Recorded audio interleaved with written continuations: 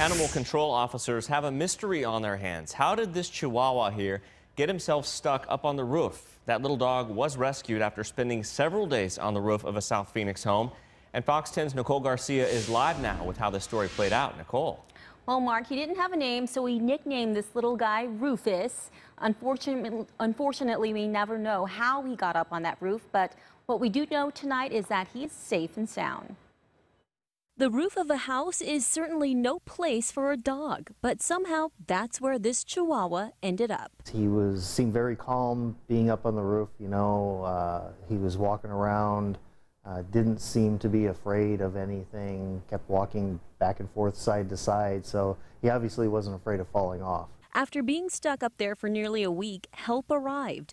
Officers with the Arizona Humane Society and Maricopa Animal Care and Control got a ladder and some dog food and were able to lure the dog close enough for them to safely take him down. When I picked him up here to look at him, he just kind of hugged me. He acted like he was very thankful to be down off of the roof. Animal control officers say Rufus here is a stray. He didn't live at the home he was stuck on. So now they're hoping his rightful owners will come forward.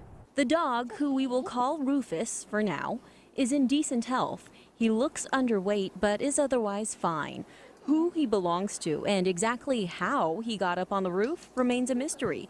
But he does have long legs for a Chihuahua, so he could be a really good jumper. It's a tough one because there's obviously no steps or anything like that that he could climb up. Being next to the green belt, there are some trees right along the wall next to this person's house. And some of the trees are growing kind of bent and leaning over, so we think that it's possible that he may have actually used the tree to kind of climb up and get up onto the roof. And Animal Control says Rufus is really friendly with people and was likely somebody's pet at some point. So if nobody claims him after 72 hours, he could go up for adoption. Reporting live, I'm Nicole Garcia, Fox 10 News.